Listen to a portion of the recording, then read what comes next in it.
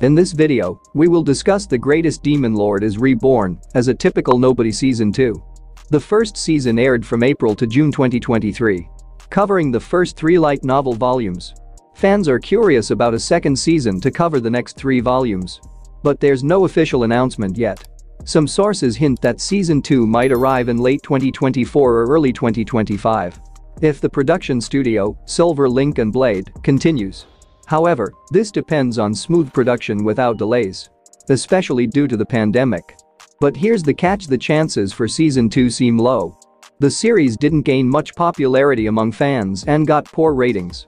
Both the light novel and manga didn't do well in sales or rankings either. The expected storyline for season 2 might follow a more predictable path. With the main character facing more foes and growing his group of admirers. What do you think of season 2? Let me know in the comments section. Feel free to share your thoughts in the comments. That's all for today's discussion, and I'm fans. I hope you found this video helpful. If you are new to the channel, remember to subscribe for the latest updates. Thanks for watching, stay informed, and keep enjoying the anime world.